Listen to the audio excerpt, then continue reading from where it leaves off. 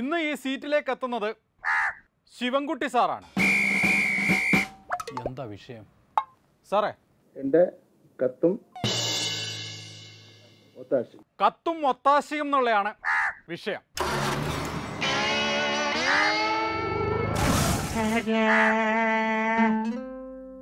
തൊഴിൽ വകുപ്പ് മന്ത്രി കൂടിയായിട്ടുള്ള ശിവൻകുട്ടി സാറ് ധനകാര്യ വകുപ്പിന് എഴുതിയ ചെറിയൊരു കത്തിടപാടിനെ കുറിച്ചിട്ടാണ് ഇന്നത്തെ പരിപാടി.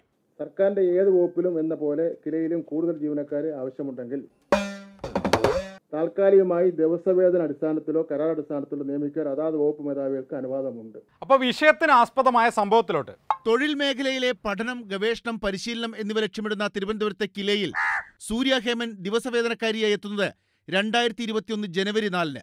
ഇതിനു പിന്നിൽ ഒരു ലക്ഷ്യമുണ്ട്. വിദ്യരായിട്ടുള്ള നിരവധി യുവാക്കൾക്ക് ഉയർന്ന പ്രതിഫലം ഉറപ്പുള്ള തൊഴിൽ കണ്ടെത്തുന്നതിന് ഇത് വഴി തെളിയിക്കും ഒരു വർഷം പൂർത്തിയാകുമ്പോഴേക്ക് കരാർ നിയമനമായി. കേരളത്തിൽ തൊള്ളായിരത്തി അൻപത്തി മുതൽ ഒരുപാട് ഡെയിലി വൈസ് നിയമനം നടന്നിട്ടുണ്ട്. കരാർ നിയമനം നടന്നിട്ടുണ്ട്. അങ്ങനെ രണ്ടര മാസം കഴിഞ്ഞു. രണ്ടര മാസം കഴിഞ്ഞ് നിയമനം സാധൂകരിക്കണം എന്നാവശ്യപ്പെട്ട് കിലയുടെ എക്സിക്യൂട്ടീവ് ഡയറക്ടർ തൊഴിൽ വകുപ്പിന് കത്ത് നൽകി. മന്ത്രിയുടെ കത്തും സഖാവിനൊരു ജോലിയും എന്നുള്ള പദ്ധതി നടപ്പിലാക്കണ്ടേ? അതിനാണ് ഡെയിലി ബേസിൽ എടുത്തിട്ടുള്ള ആൾക്കാരെ പല ഗവൺമെന്റുകളും സ്ഥിരപ്പെടുത്തിയിട്ടുണ്ട് പത്ത് വർഷക്കാലം കഴിഞ്ഞിട്ട്. പക്ഷെ തൊഴിൽ വകുപ്പിലെത്തിയ കത്തിൽ വകുപ്പ് ഒരു കുത്തിട്ട്. സർക്കാരിന്റെ മുൻകൂർ അനുവാദമില്ലാതെയുള്ള നടപടി അംഗീകരിക്കാനാകില്ലെന്ന് വകുപ്പ്. മന്ത്രി ഈ വിവരം അറിഞ്ഞ്. അപ്പത്തന്നെ ഇടപെട്ട്. മന്ത്രിയുടെ ഓഫീസ് ഇടപെട്ടതോടെ അപേക്ഷ ധനവകുപ്പിലേക്കെത്തി. മിനിസ്റ്റർ നിങ്ങളെ ശ്രദ്ധയിൽപ്പെട്ടിരുന്ന? ഒരു സൂര്യ ഹേമന്റെ പ്രശ്നം മാത്രമല്ല കേരളത്തിൽ ആകെ നിൽക്കും പൊളിച്ചടുക്കി. അയ്യോ ഒരു കാര്യം വിട്ടുപോയി കേട്ടോ. എന്താ ബഹുമാനപ്പെട്ട മുഖ്യമന്ത്രി. ബഹുമാനപ്പെട്ട മുഖ്യമന്ത്രിയുടെ നേതൃത്വത്തിൽ നടന്ന മേഖലാ അവലോകന യോഗത്തിൽ അങ്ങനെ ജൂലൈ ഏഴായി. ജൂലൈ ഏഴിന് നടപടി സാധൂകരിക്കാനാകില്ലെന്നും സൂര്യഹേമനെ പിരിച്ചുവിടണമെന്നും ധനവകുപ്പ് വീണ്ടും മറുപടി നൽകി. മിനിസ്റ്ററെ എന്നിട്ട്? നമ്മൾ ചിലപ്പോൾ മനസാക്ഷിക്കനുസരിച്ച് അവരെ പിരിച്ചുവിടണ്ട പിരിച്ചു എന്നുള്ള നിലയിലൊക്കെ നിലപാട് സ്വീകരിക്കും. അതൊക്കെ നിങ്ങളും സ്വീകരിക്കും ഞാനും സ്വീകരിക്കും എല്ലാവരും സ്വീകരിക്കും. സഖാവാണെങ്കിൽ പ്രത്യേകിച്ച്. ഇനിയാണ് കളി. അദ്ദേഹം നാല് തവണ ധനവകുപ്പിന് കത്ത് നൽകി. അതൊന്നും വലിയ ഇഷ്യൂ ആക്കണ്ട. ധനവകുപ്പിൽ പോകുന്ന ഫയലുകളെല്ലാം സ്വാ- സ്വാഭാവികമായിട്ട് പലപ്പോഴും ഒബ്ജക്ഷനൊക്കെ സാറിന് വരുന്ന ഒരു റൊട്ടീൻ രീതികളാണ് അതെല്ലാം. വെറും റൊട്ടി. പിരിച്ചുവിട്ടാൽ കുടുംബത്തിന്റെ വരുമാനം ഇല്ലാതാകുമെന്നായിരുന്നു ആദ്യത്തെ കത്തിന്റെ ഉള്ളടക്കം. അല്ല എന്തൊരു കരുതലാണ് നിങ്ങൾക്ക് അതൊക്കെ സാറിന് റൊട്ടീൻ രീതിയാണ്. ആ ചോദ്യവും ഒക്കെ വരും അതിനൊരു വിശദീകരണം കൊടുക്കേണ്ടി വരും. ആദ്യത്തെ കത്തിന് ഗുമ്മില്ല എന്ന് പറഞ്ഞ് ധനവകുപ്പ് തിരിച്ചയച്ചു. അപ്പൊ മന്ത്രിയുടെ വക.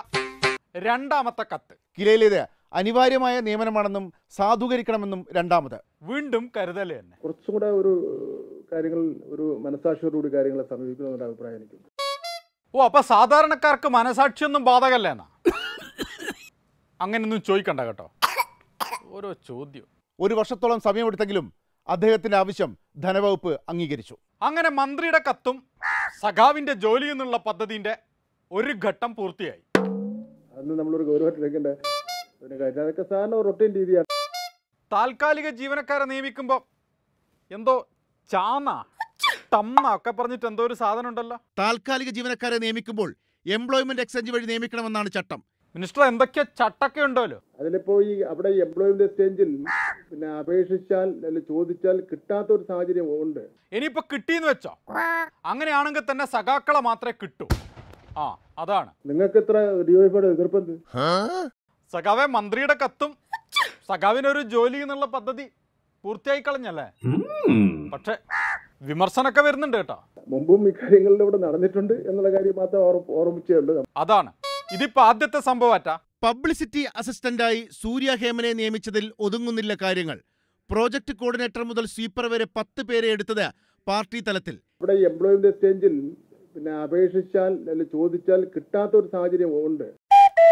ഉണ്ട്. എംപ്ലോയ്മെന്റ് എക്സ്ചേഞ്ചിനെ നോക്കുകുത്തിയായുള്ള താൽക്കാലിക നിയമനത്തിൽ എട്ടെണ്ണവും വി ശിവൻകുട്ടി കിലയുടെ ചെയർമാനായ കാലത്ത്.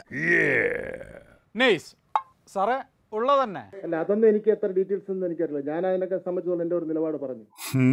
അതാണ്. സഖാവിനും എനക്കറിയില്ല. ഇത്തരം കാര്യങ്ങളാണ് പ്രധാനപ്പെട്ട കാര്യങ്ങളായി പറയുവാനുള്ളത്. ഒറ്റ മിനിറ്റ്. സഖാവെ പരിപാടി അവസാനിപ്പിക്കാറായി. പ്രേക്ഷകർ ഒരു ബഹുമാനപ്പെട്ട കൂടി ആവശ്യപ്പെട്ടിട്ടുണ്ട്. ബഹുമാനപ്പെട്ട മുഖ്യമന്ത്രിയുടെ ചേംബറിൽ ഫിൻലാൻഡ് സംഘം അദ്ദേഹവുമായി കൂടിക്കാഴ്ച നടത്തി. ഓക്കെ. ഈ നാട്ടിൽ ഇതെന്തൊക്കെ തട്ടിപ്പാണ് നടക്കുന്നതെന്ന് തോന്നുന്നവർക്കുള്ള ചുട്ട മറുപടി നൽകുകയാണ് സഖാവെ നൽകിക്കോ?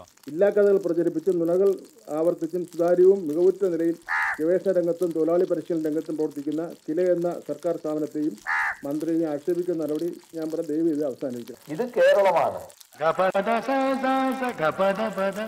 അപ്പൊ മറ്റൊരു കത്തും കുത്തും ഒക്കെ ആയിട്ട് പിന്നെ കാണാം. ശരി.